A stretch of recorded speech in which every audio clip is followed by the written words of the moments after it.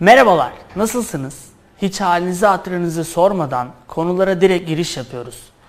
Umarım iyisinizdir. Bugünkü konumuz toplumlar ve onları yöneten kişiler. Her insanın hitap ettiği bir toplum vardır. Anne baba ailesini, öğretmen öğrencilerini, patron işçilerini, fenomenler de takipçilerini yönlendirir.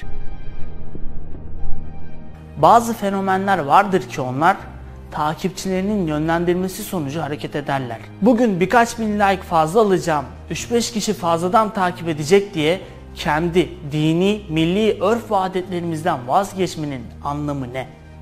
Tamam anladık, insanlara ulaşmak güzel bir şey ama burada ulaşma amaçlarımızı gözden geçirmek gerekir.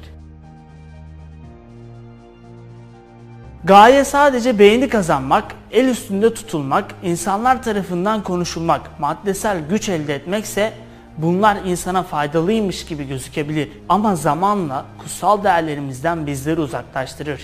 Kendi kendimizi putlaştırmamıza sebep olur. Bunun sayısız örnekleri vardır.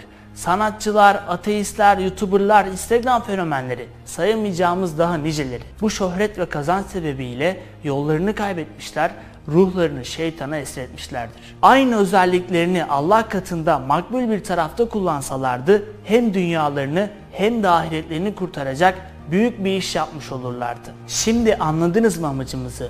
Takipçi düşüyor, izlenme azalıyor farkındayız.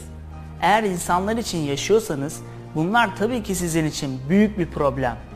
Ama insanlara faydalı olmak için bir şeyler yapmak istiyorsanız kimi zaman insanların aleyhine gibi görünen şeylere de parmak basmak gerekir. Doktorun bazen hastasına iğne yapması gibi.